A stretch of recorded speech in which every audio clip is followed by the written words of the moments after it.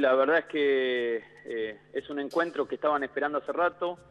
Suele haber diferencias como en cualquier eh, extracto o sector de la sociedad, pero necesitaban un, marco, un marco del Estado para, para poder juntarse y bueno, pudimos brindarlo después de, de dos charlas y encontrarnos con la municipalidad, el INAI, Defensoría del Pueblo y, bueno, y las comunidades del distrito.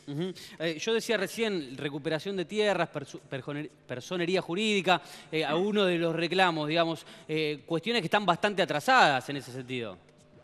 Sí, en eso han ido por distintos por distintas vías. Hay comunidades que han adquirido personería jurídica, por lo cual desarrollan sus actividades a través de la misma, pero y hay otras que no y hay comunidades que justamente están reclamando eh, tierras justamente del distrito y es todo un tema complejo eh, de solucionar. Por eso la idea es sentarnos y ver desde el Estado cómo podemos encarrilar la situación. Por un lado va a ser todo un tema que es obviamente dificultoso, el tema de la propiedad, eh, pero por otro lado también hay que sentarse para ver justamente el tema cultural, porque a nosotros nos invade justamente este tema y bueno, tenemos que tratarlo de acá, además para las generaciones futuras.